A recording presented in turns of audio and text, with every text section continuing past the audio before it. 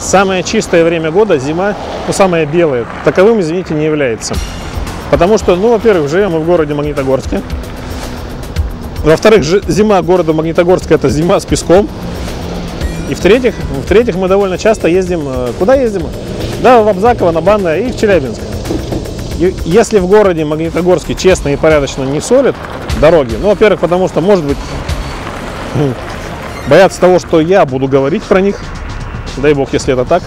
А, Ну, в основном, конечно, не потому, потому что наши дороги не могут замерзнуть и не могут растаять.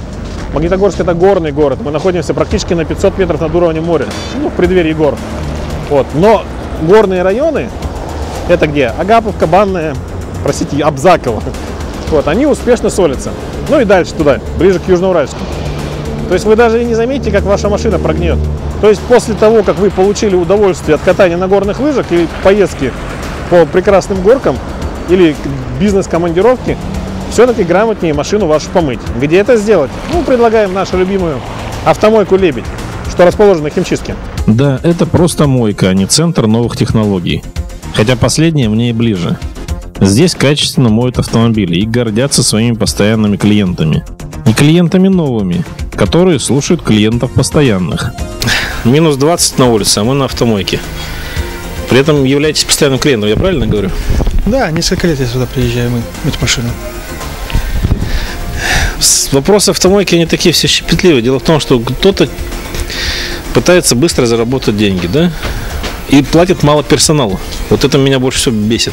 Поэтому персонал и так к автомобилям относится. Здесь как к вашему автомобилю относится? Потому что как относится к автомобилю, так же как к персоналу, я так понимаю. Я не, не знаю, как здесь оплачивается персонал, но качество мойки автомобиля меня очень устраивает. То есть, если ты просто даже наружную мойку заказываешь, тебе вытрут пороги, откроют багажник, все протрут.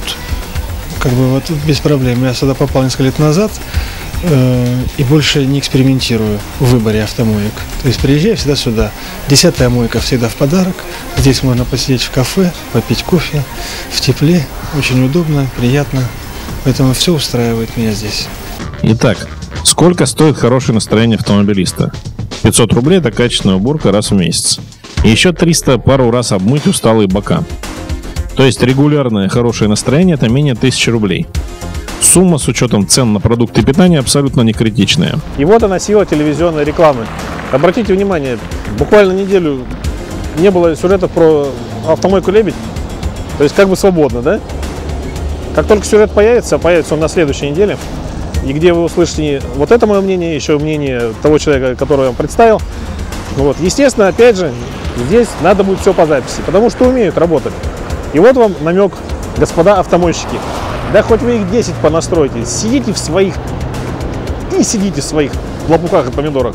Потому что за все в жизни, ребята, надо платить. Я лично плачу, и вы будете платить. Либо будете сидеть в своих любимых вонючих лопухах.